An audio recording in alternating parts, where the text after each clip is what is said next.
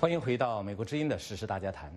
陕西千亿矿权案卷宗丢失事件出现惊天大反转。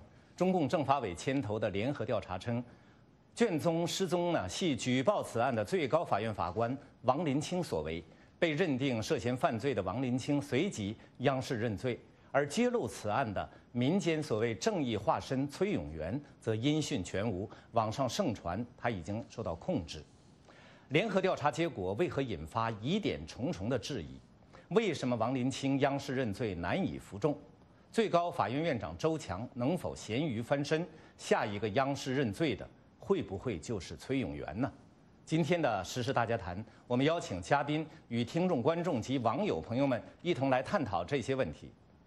在纽约通过视频连线参加节目的是北京之春荣誉主编胡平，胡先生你好。你好，大家好。在北京通过电话连线参加访谈的是历史学者、独立时评人张立凡先生。张先生好。主持人好，各位好。好，我们欢迎两位嘉宾呢，同时我们也欢迎听众、观众及网友朋友们通过 VOA 卫视在 YouTube 上的网上直播收看并加入我们的现场讨论。网址是 YouTube 点 com 斜线 VOA China。最高法的这个。卷宗失踪案情呢，这个出现了大逆转。有人形容哈，被勒的是被雷的是外焦里嫩，目瞪口呆。我来请教纽约胡平先生，您曾说过这个结果呢荒谬绝伦，这是为什么？我想这个结果荒谬绝伦，至少有两个地方。第一个地方就是王林清的电视认罪。嗯，按照这个认罪，那是王林清自己偷了卷宗，自己报案，自己查监控。然后自己做视频证清白，最后呢，可是又自己承认是贼喊捉捉贼，是监守自盗啊！那折腾这么半天，到头来就是为了把自己送到监狱里去啊！那这种说法实在太荒谬，没有任何说服力。关于这个问题呢，很多网友已经发表了很多评论，呃，可以说是把他的荒谬是揭露的这个，呃，非常透彻，这里就不再重复了。另外一个荒谬之处呢？那就是按照新版的剧情，呃，他也不但不能解释王林清此前的行动，而且他也不能解释此前最高法的反应。嗯，当事情刚出的时候，呃，这个最高法是否认他有卷宗丢失。等到后来崔永元又进一步爆料，包括爆出这个这个案件那个附卷的一些材料的时候。啊，这个最高法又改了口，呃，说是称说这情况都是属实，内容属实，表示要进一步启动调查等等，呃，可是按照新的这个呃调查报告呢，那对最高法在处理这个案件的的做法是给予了基本上给予了肯定，那么你怎么解释此前这个最高法的这两次很奇怪的反应呢？那这点也是很荒谬、很荒谬的。不过我认为，整个剧情发生这么大的逆转。这件事本身倒并不让人感到意外，嗯，我们可以反过来说，这个剧情不逆转倒是就很就是很难想象的了，嗯，道理很简单，这次王林清、崔永元，呃，利用网络爆料啊，直矛头直指最高法院院长周强，显然背后有着非常强大的政治后台，嗯，可是。啊，那么党内高层这这么一派人，就假借下面的人用爆料这种方式，就可以直接扳倒一个副国级的高级官员，这种做法势必引起高层官员的普遍的惶惶不安，感到人人自危，他们就认为这种做法是断然这此风断不可长，嗯，这是坏了规矩啊，这样子一来呢，所以呢，他们就认为呃。就联手，表起来反对啊，这么一来呢，呃，就迫使幕后支持王林清、崔永元这一派高层的势力不得不做出让步。嗯，啊，那才来了个急急刹车，因为刹车来的太急，所以有车上有的人呢免不了就东倒西歪，弄得碰得鼻青脸肿，看起来就很不成体统。嗯，但是你回过头来看，就是这个显然这种做法本身，嗯。就是触犯了高层其他官场不同派别人的共同利益，因为这如果一派人可以用这种方法就爆料，就把这位居非常高层的人去打倒的话，那这种事情，那么高层其他人当然觉得是绝对不能接受，所以他们会一起起来反对。这可以说这件事到现在为止，呃，我们可以说前些天一定是在高层发内部发生了很激烈的这个权力斗争。嗯，那些反对的一派，呃，他们联手阻击，造成了今天我们看到的这个效果。好的。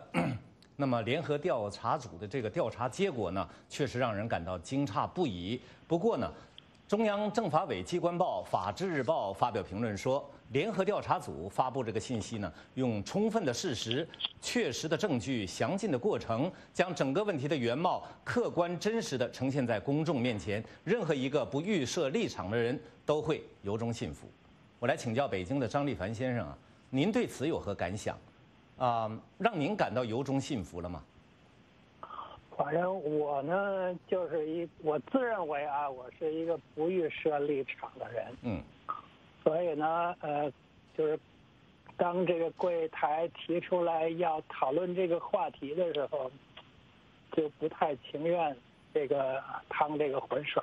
这就跟那个上一次呃讨论这个呃也是呃。这个这个崔永元的爆料的那个话题儿，那次可能是讲这个关于明星偷漏税的这个案子。那这一次其实也是这样，就是说呃，这个案情是不是现在就算终局了呢？这个所有的事实是不是都搞清楚了呢？现在谁也不敢说。嗯。就案情在未来会不会还要有出现新的呃？进展或者是逆转呢？这谁也说不清楚。所以在这个时候评论这个案子呢，很有可能就是自己砸自己的牌子。所以据此呢，我就啊，对这个这个话题啊，我就不是很很喜欢。嗯。但是呢，我也想过，就是呃，正好轮到周一，我们也没别的话题，好像。呃，排来排去，我就料定要说这个话题。嗯，所以呢，我事先呢也做了不少功课，我就是，呃，关于这个话题我做好了准备，但是呢，我心里又不情愿说。嗯，可是呢，也不得不说，因为当然，美国之音，这个他有一句这个非常经典的话，就是嘉宾的言论是不代表美国之音的立场。嗯。那就必定是代表嘉宾的立场，可是嘉宾又不想预设立场，在这种情况下评论是非常困难。但是呢，我们也不能不说，这个案子确实很案情非常之狗血，啊，就闹到今天这个程度，这个呃，无论是网上还是法律界，大家还是包括一些普通的围观者。大家都目瞪口呆，不知道这是怎么一个事儿，呃，为什么会出来这么一个状况？有点儿是这个，呃，我觉得将来啊，肯定这个案子要写写进历史的，这是肯定是一个非常经典的。如果说要排四大奇案，起码现在，呃，我觉得可可数的有已经有三个。一个是那呼格吉呃吉勒图那个案子，就内蒙那个，啊，这是报案人最后，这个就被指是杀人犯，最后被处决了。嗯，这是一个奇案。第二个奇案就是高高莹莹这个案子，啊，这个呃高这个女孩子跳楼死了，她的父亲拿了一个裤衩这个作为证据，就是证明高莹莹可能被人强奸了。最后司法鉴定的结果说，那裤衩上的精斑就是高莹莹父亲自己的。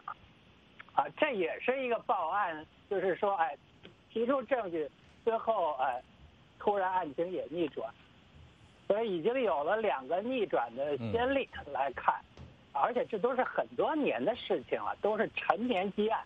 你就可见中国的司法有多么的奇葩，所以现在在在现在这种奇葩，这一次的奇葩开到了中国的最高人民法院，我觉得这个也算是空前绝后了，呃，未必绝后，也许我们还还有一个是网呃网友听众也能补充，也许还有什么，还有一个就是这个案情未必到现现在这个时候就是终局，因为这个案件啊，我我自己觉得，我事先有一个想法，就是我既不能够站在这个所谓联合调查组的这个报告这这个立场上，嗯，我也不能站在这个被调查者的立场。啊，具体到这个这个这个这个矿，啊矿权这个案子啊，就是这个呃凯奇莱这个案子来讲，我也绝不能够一站在原告一方或者站在被告一方。嗯。但是呢，我觉得，呃，这个案情太奇怪了。嗯。就是说，我觉得主要的问题，其实胡平先生已经点出来了，就是这个案子涉及到了巨大的利益。可能也涉及到了不止一派的官员，嗯，啊，有人也分析说，这个可能是有地方的陕西本地的官员，也有空降下来的官员，可能这中间有博弈。当然，我们也注意到，就是凡是跟陕西有关的这些事情，啊，也就是说跟最高领导人的家乡这个省有关的事情，啊，我们看秦岭那个案子。他是批了多少次，最后呢，终于如愿了，啊，这个把这个把秦岭的别墅都拆了，说明我觉得最高领导人他也是经常关注他的家乡发生的事情。嗯。但是这一次啊，大家一直在猜，说小崔的后台到底是谁，然后这个这个周强院长是属于党内的哪个派系，然后他背后又是谁？反正各种的猜想都有，嗯，所以我又想起当年这个清末四大奇案之一的这个杨乃武小白菜案，最后怎么翻的案？最后是浙江籍的京官联名向这个呃慈禧太后去上书，啊，去这个最后把这案子给扭过来了。嗯，呃，说明我觉得这中间可能围绕着这个这个。诉讼标的物的巨大博弈，牵动了官场的非常多的人，啊，或者是呃各个派系。然后呢，现在的焦点在于，如果啊这个这个东西继续发酵甚至爆炸的话，可能会炸炸翻这个官场，炸死一大波人。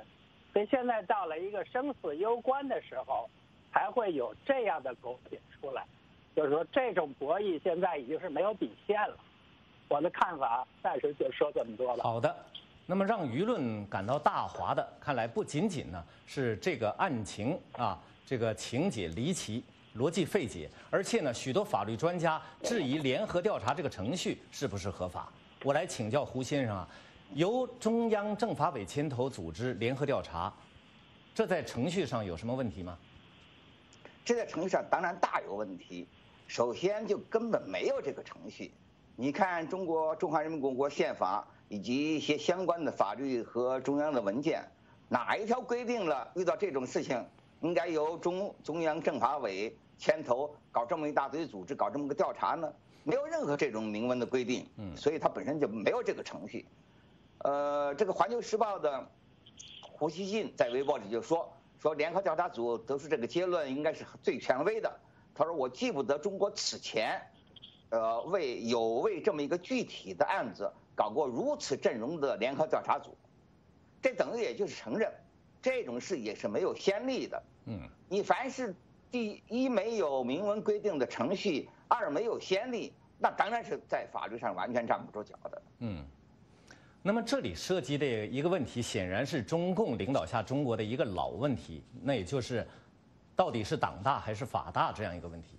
但是这对于中共来说呢，好像这并不是一个问题，或者说是一个不成问题的问题。由政法委组织的这个调查审查最高法院的判决，难怪北大法学教授啊贺伟方有一句这个评论，他说：“现在我才知道啊，原来最高法院之上还有更高法院。”我来请教张先生，您对此有何评论？有什么见解呢？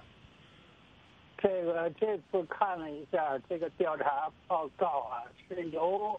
中央政法委牵头，中央纪委、国家监委、最高人民法院、公安部参加的这个联合调查组。那这个联合调查组的法律地位是什么？这是不清楚的。然后最高法院的法律地位应该是清晰的，现在变模糊了。就是说啊，这个也就是何伟芳教授讲的这个，原来还有更高法院。可是你这更高法院你是什么呢？也不是中国也没有宪法法院，啊，也没有一个呃机构能够对这个最高人民法院。发生的一些事情做出评判，可是你看这个调查报告呢，它对于呃最高人民法院的几个判决，比如说这个联合呃勘探这个这个凯迪拉公司和呃这个这个和那个研究所的这个联合看，他做了评论，认为这个判决是。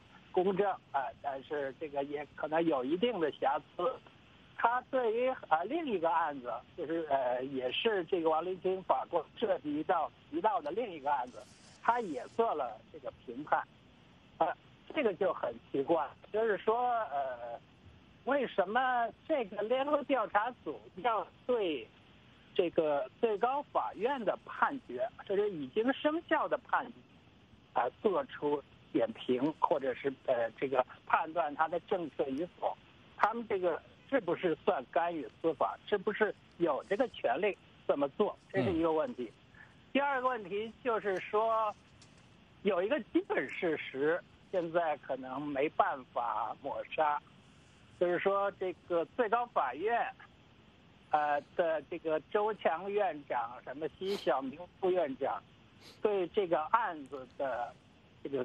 批示，啊，据说是这个泄露了国家机密了，但是我们老百姓一看这些机密，就发现一个问题，就是说其实这个院长和副院长都在，呃，这个通过什么一位分委的手来干预这个审判的过程，所以那也也就是崔永元所指责的，说这个是未审先判，啊。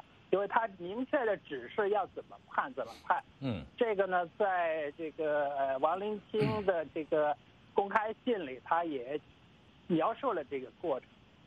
从这一点上来看，这个事儿是坐实了的。就甭管你他通过什么手段啊，把这个当时的批示公开出来，但在公众看来，就这个事儿，肯定这个周强院长、小明这个已经被判了刑的。这个涉及贪腐的副院长都做了批示，所以这个由此我们也知道了中国的司法审判的一个过程的细节，啊，而且这个细节是非常经典的，是最高法院的院长在那做指示，嗯，啊，所以这个是以前老百姓看不到的东西，啊，这一次呢看到了，嗯。还有就是说，呃，我觉得也可以引发思考的，就是说，党大还是法大的问题。这问题其实以前我们讨论过，就是福山这个这个贵国的这个政治学，呃，这个呃权威，这个托亚嘛，就是福山教授，嗯，和这个王岐山先生的这个对话。这个对话里头，呃。福山提出来说，中国是否能够落实是，还有司法独立这样的问题的时候，王岐山就断言说行不。他说不可能，司法一定要在党的领导之下进行，这就是中国的特色。嗯，但宪法是文件，也也不就是人写的嘛。总统、国会外还有宪法，啊，宪法应该有神圣性，但它不是神。是公众的法，呃，实际上我觉得最最关键的一句还是党的领导。所以这一次的这个，这是从呃最高法院内部呃这个被披露出来的，他们这个审判的一些细节，以及这个联合调查组所做的这个调查报告结论，都证明了一点，就是说党。司法一定要在党的领导之下进行，啊，但是呢，这个也产生了很多的问题。原来党领导的这个司法就是这么一个情况，啊，以前我们可能不清楚的，现在我们更清楚了。谢谢。好的，那么我们来听听啊，网友、听众、观众在这个问题上的这个意见。刘华奎、罗克，刘华奎、罗克。他说：“一个国家的法律是全体人民意愿的体现，而政党只是全体人民中的一部分。政治观点一致的团体，党大于法就是没有法，就是一个团体的意愿凌驾于全体人民意愿之上。周强就是强调党大于法的人，他就不可能依法办事、依法治国。周是习的帮凶，是习的打手，习是不会整治自己人的。” Alex 王。他说：“不论崔永元有没有后台，都不妨碍他成为一个有正义感的人，也不妨碍他做正确的事情。”午夜星空 SZ，从多年前呃抓到香港的书商开始呢，中国就进入了无法无天的时代。崔永元被晋升就可以想象成正常的现象。至于他今后会怎么样？还能不能发生都是未知数。现在看来，崔当时说的“我的后台吓死你们”很搞笑，旁人以为他来头很大，却不知是无情无重、无知轻重拉大旗吓唬别人。看来我们的这个听众观众们对崔永元在这个案件中的这个角色和作用很感兴趣。我们来谈谈崔永元。这个最高法院卷宗丢失这个案呢，是崔永元揭发出来的。我们由此。就不能不说说这个崔永元的现象。自从范冰冰、冯小刚等影视界乱象被揭发以来呢，崔永元好像就成为了民间的正义化身。那么这一次，有人说他恐怕会栽了，有人说他弄的是一地鸡毛。我来请教胡先生啊，如果王林清被定性为涉嫌犯罪，那么崔永元会受到多大程度的牵连呢？崔永元多少会被算成共犯。因为他协助在网上发布，呃，按照这个中国的刑法，故意泄露国家机密、故意泄露国家秘密罪，呃，要追究刑事责任，最高可以判处七年以下的徒刑，呃，那看起来呢，崔永元恐怕也很难那个逃，很难逃脱，呃，到现在为止，我们崔永元下落都不清楚，呃，据说呢，好像还没有，至少还没有被抓。呃，我们也没有看到在电视上，更没有看到在电视上认罪。呃，但是他确实已经销声，就是虽然没有匿迹，但是确实已经销声。那至少在未来一段时间之内，我们要听到崔永元的声音，大概是相当相当的困难了。嗯。那么这里也就像很多网友谈到，我们原来也讲到过，嗯，我们对崔永元怎么评价，这个人怎么评价是一回事情，呃，对他爆料这件事事情怎么评价是另外一回事情。另外，对事情的评价也是以两个方面，一个是对事情的来龙去脉、前因后果以及未来可能出现的事情做一种客观的研判，这是一回事情。这个和我们的价值观念没有太大的关系。另外一方面呢，那你就出于我们的价值观，对这个事情进行一种道德的、政治上的褒贬，这是另外一层意思。我想我们在讨论这个问题的时呢，要注意做这么一些区分。千亿矿产案的这个当事人赵发奇。他就说过这样的话，他说从来就没有人来了解过、调查过这个案件。我举报陕西省委书记都好几个了。我们最大的背景就是崔永元，他把这事儿捅开了，形成了舆论，中央才出面，不然谁管我啊？那么由此可见，崔永元他这个人的能量。我来请教张先生，您如何看待中国的崔永元现象？有人说下一个央视认罪的人可能就是小崔，您相信这一点吗？呃，这个小崔这个人呢，其实我觉得我自己啊，觉得挺可爱的。这个虽然我也没跟他打过什么交道啊，但是呢，呃，在网上打个招呼啊，然后互粉一下，这个过去也做过。然后这个这个赵发基先生呢，他也给我在推特上发私信。希望关注这个案子，但是呢，很可惜，我对这个案子当时我这关注不够，出于不趟浑水的这么一种这个想法，我没有足够的关注，我只是到了准备咱们这个要讨论这个话题了，嗯，我才集中的去看，啊这个相关的所有的这些资讯，把这个来龙去脉梳理一下。呃，我想赵八旗先生他也不是像普通大家所认为的那样，他就是一个普通的农民，他可能也是一个钱粮，就是说他在背后，至少他呃应该有这个巨大的利益，否则他一个人他不可能在这么多年的十十来年的时间里头，去这个检举了好几个省委书记。然后把官司能打到最高法院，所以我觉得这个赵先生肯定也不简单。嗯，当然了，之后他也是兵行险招，就是说，哎，把这个事儿用，呃，这个让崔永元把这个事儿捅开，形成这个社会舆论。那么这个呢，是我觉得可能也是作为这个这个他们的这个案件运作中的一部分，因为毕竟。就是说，王林清法官他也有违规的地方，所以当时我我在呃随意，就是说在这过程中我观察，一个就是说，王林清法官他跟这个当事人私下有来往，然后呢也也一起做了呃就是有关的这个案件的一些运作的事情，这个呢从法官来讲肯定是越界了的。那么再有一点就是说，呃，这个，呃，这个案子本身它所牵扯的利益，那是一个惊天的利益，啊，所以这么大的利益之下，我要重赏之下必有勇夫，啊，也可能这个赵先生，当然我冒昧的讲，我们现在也不知道他现在在哪，他是怎么一个情况，但是呢，他也可能就是一个钱粮，在他背后也有一个。呃，比较强大的呃这个力量在支撑，或者是一个利益集团在支撑，所以我觉得这个案件的背后可能是不同的利益集团的博弈，嗯，这种可能性是比较大的。那么他说最大的背景就是崔永元，我想小崔背后这个以前我们也谈过，对，我说小崔这个他在网上掀动的这个利呃这个舆论呢。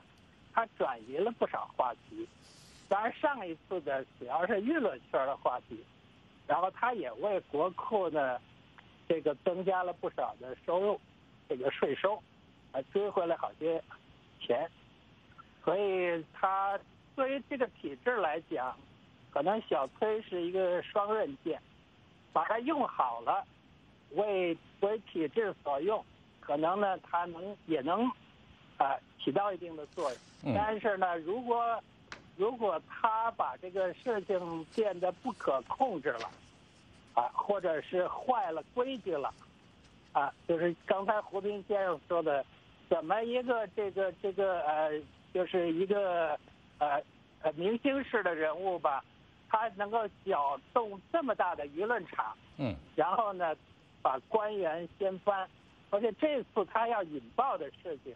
呃，真是一个惊天大案，很可能就是这个轰塌这个架构中间的啊一个重要的，比如说一个角，或者是呃引发那种官场的地震和塌方，那死伤可就不是一个半个的事儿。嗯，所以小崔他威胁说，他说他有一抽屉的材料，我想很多人都是。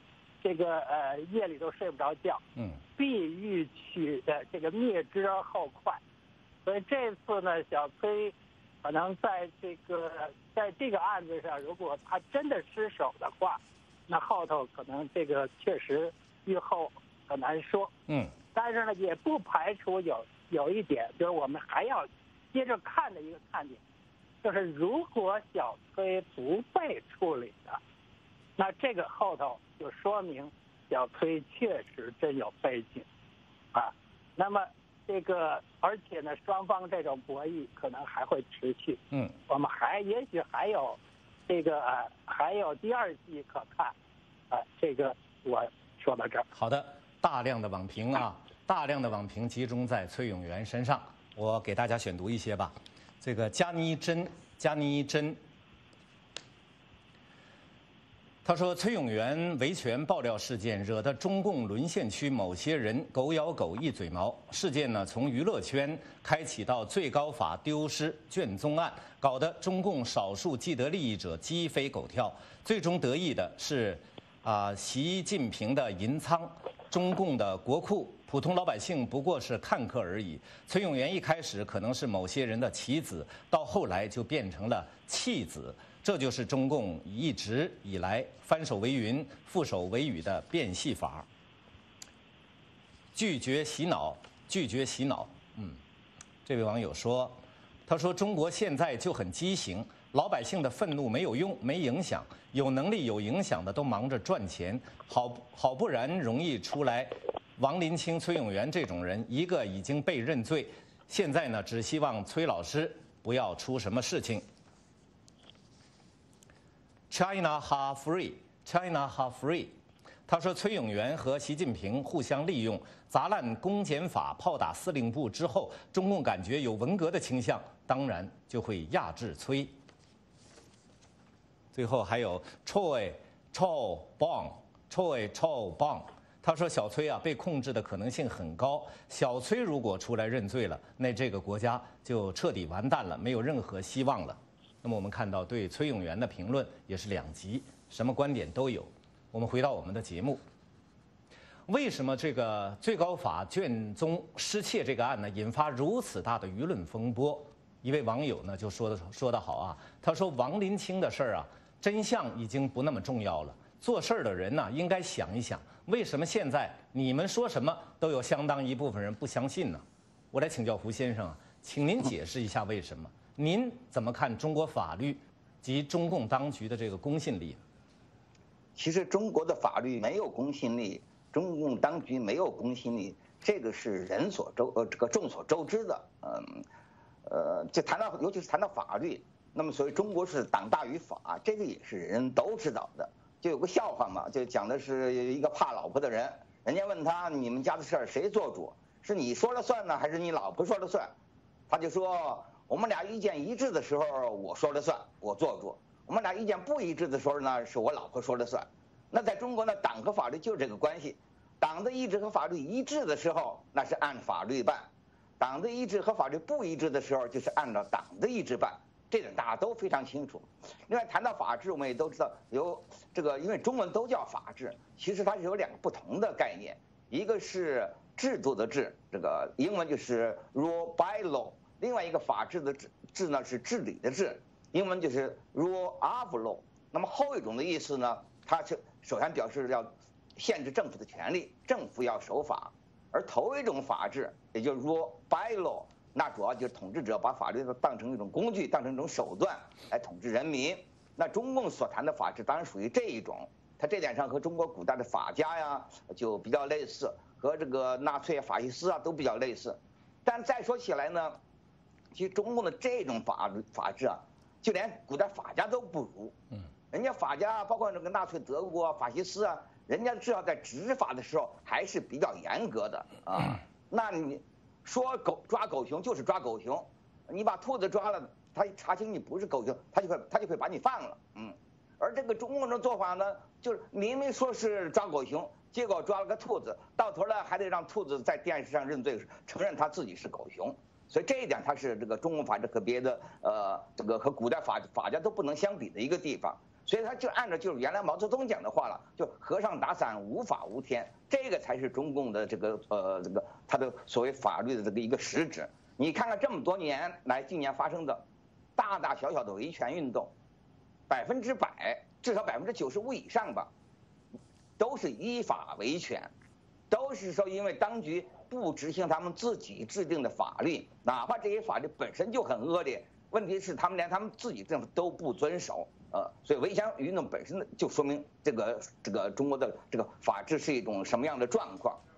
这里头呢，当然你再想起，我再想起，就是不久前吧，《纽约时报》不是发表了一篇 David Brooks 的文章，谈就谈中国的崛起怎么怎么呃怎么对这个世界构成这威胁挑战，其中引用了一些这个很权威的。呃，民意调查就是这个民意调查就显示，呃，世界各国的民众对政府的信任度最高的就是中国，啊据说这是民意调查。可是我们只要回到一个具体问题上来，就拿这次王林清的这个电视认罪，你要问一问中国的老百姓，有谁相信？嗯，我相信这个数目一定是非常非常的低，而且呢，这里反映的其实不只是一个这个王林清的一个问题，其实反映出中国老百姓他们是普遍的对中国的法律不信任，对中共当局是不信任。这一点我觉得是通过这件事应该说是非常非常的清楚。嗯，《环球时报》总编辑胡锡进。他肯定联合调查呢是应该是最权威。我不记得此前啊，中国有为一个这么具体的案子搞过如此阵容的联合调查组。但是他也承认，他说这件事还值得另一个角度的反思：为什么王林清撒谎能够掀起这么大的波澜？我认为根子在官方的公信力整体不足。那么我来请教张先生，您怎么看胡锡进的话？为什么？中国许多人不信法律，信小崔呢。这个胡锡进先生也是一个很可爱的人啊。这个过去我们是经常骂他，但是这个我呢也是不止一次表示出对他的欣赏，就对他的这种是有意还是无意的高级黑的这种欣赏。呃，他总能点出一些话题来。嗯。啊，就这些话题从胡锡进的嘴里点出来以后，啊，这个他的这种效果啊，他是呃，就是说不但在老百姓啊、网民中间，而且在官场也会有效应。所以呢，当然一方面可以说那个胡锡进可能真是一个党的忠臣，就大大家骂他什么雕盘犬呐，什么甭管是什么吧。反正这个官方有动作，他一定会出来啊做一番解读。但这番解读呢，有时候是呃，有时候他是可能昧着良心说的，但有时候他说的真是实话。嗯。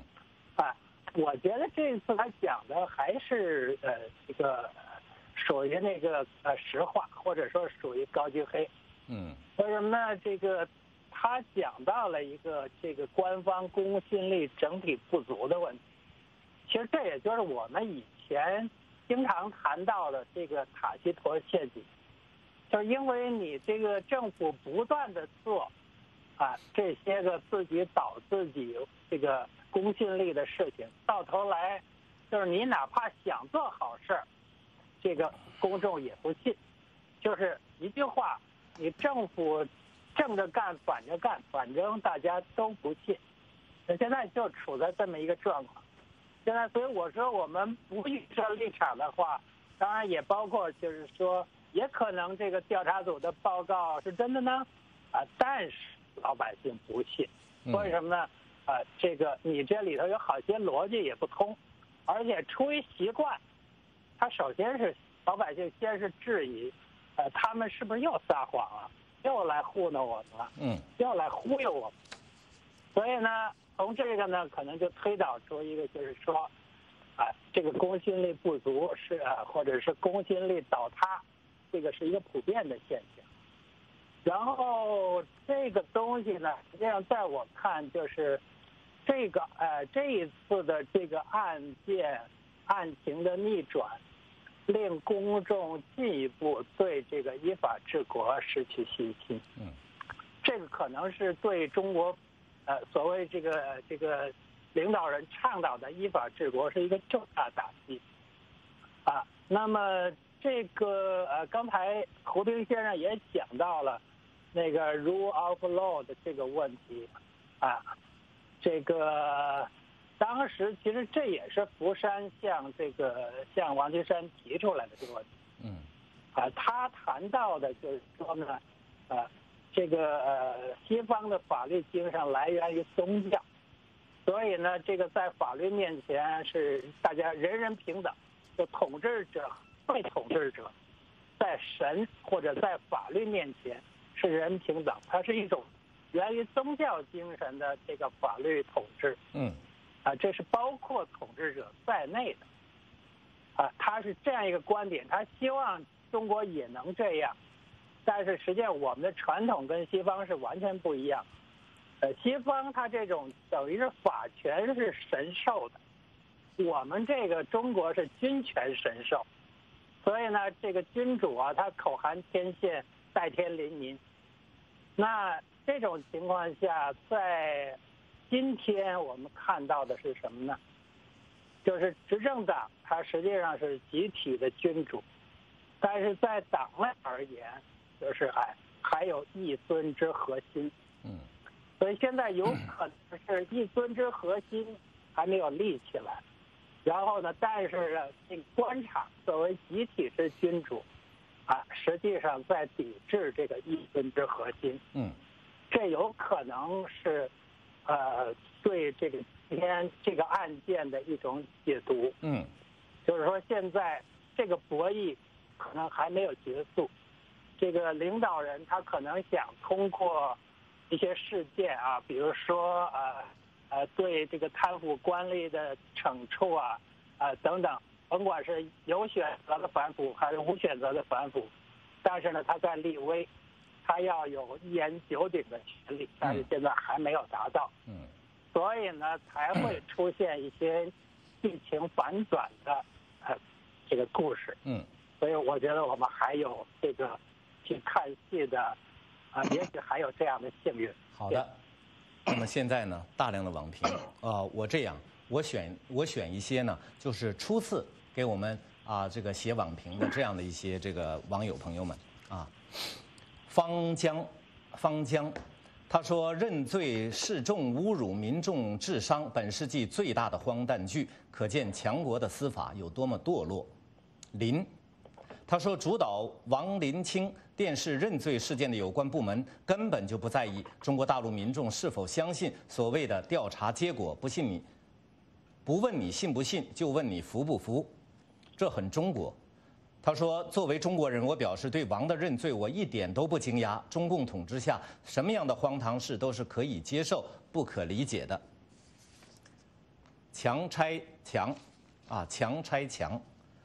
他说：“王林清案从另一个层面来看呢，就是赵高们用了指鹿为马这样如此拙劣的结果来搪塞民众，而习皇帝竟然没有看出来拙劣，这就是一个试金石，试出了习的智商。今后赵高们可以肆无忌惮，习朝纲必乱，自由博爱。”他说：“崔永元呢，只是上了贼船的一员，中共各方势力博弈的一个棋子。很多中国人民还把正义赋予崔永崔永元正义，可见国人有多么愚蠢。”方良啊，呃，对不起啊，不对，嗯，好，我就暂时念到这，因为我们时间剩下的已经不多了，给嘉宾们更多一点时间吧。这个千亿矿权案呢，是一个旧案。其中显然牵扯到许多官员贪腐丑闻和这个利益纠纷。据说认真查处起起来呢，连现任的中央政治局常委赵乐际也难逃干系。这里边的背景，我请胡先生啊，不知道您了解多少内幕，给我们介绍一下好吗？很多人都说赵乐际难逃干系，不过我倒不这么认为。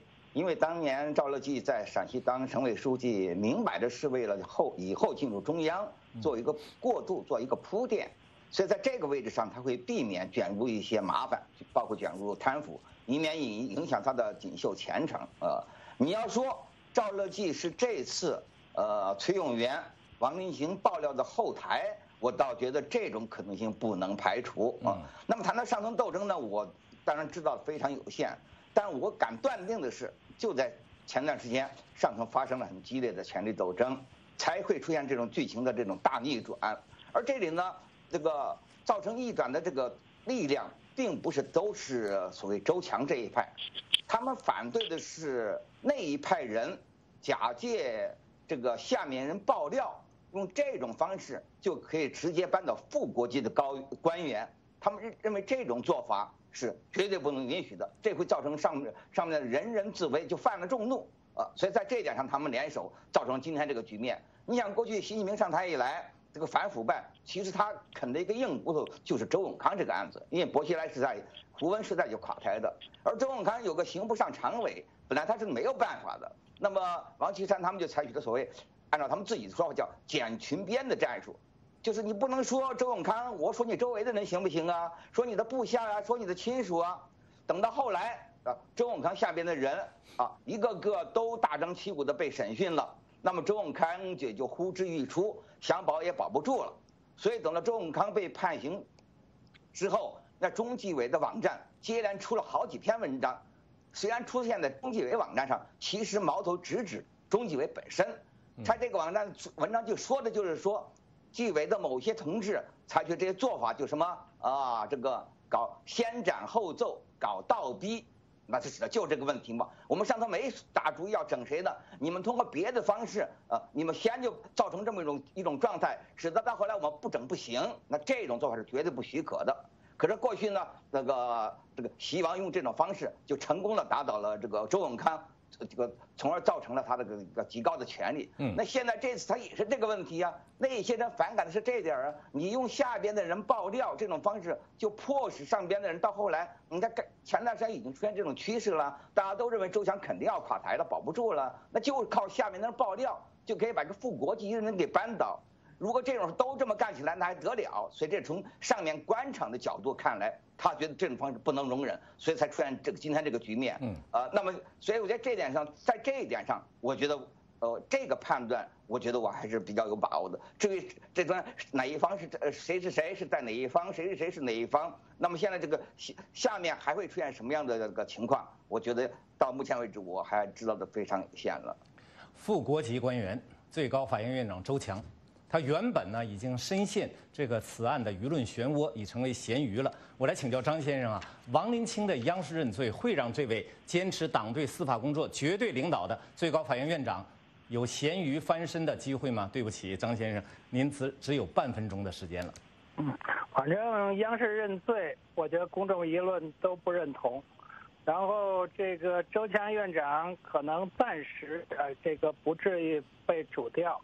但是不保证以后就能够彻底的这个摆脱这个这个案件的困扰，我觉得这个取决于今后高层的下一步的博弈，所以我不认为他呃就一定有咸鱼翻身的机会，我觉得也可能还会有人继续撕咬他，这是我的一个大体的观察，谢谢。好的。那么我们今天呢，时事大家谈讨论到这里就结束了。时间关系，不能一一宣读网友们的所有评论以及回答网友们提出的所有问题。我们感谢胡平、张立凡两位先生参加我们的节目。我们时事大家谈呢是一个自由的论坛，我们的嘉宾、听众、观众发表的都是他们个人观点，不代表美国之音。明天时事大家谈，关注热点话题：推迟加征关税是美中双赢。还是相互妥协，欢迎收听收看。此外呢，也请关注我们的美国观察节目。好，我是许波，我们下次节目再会。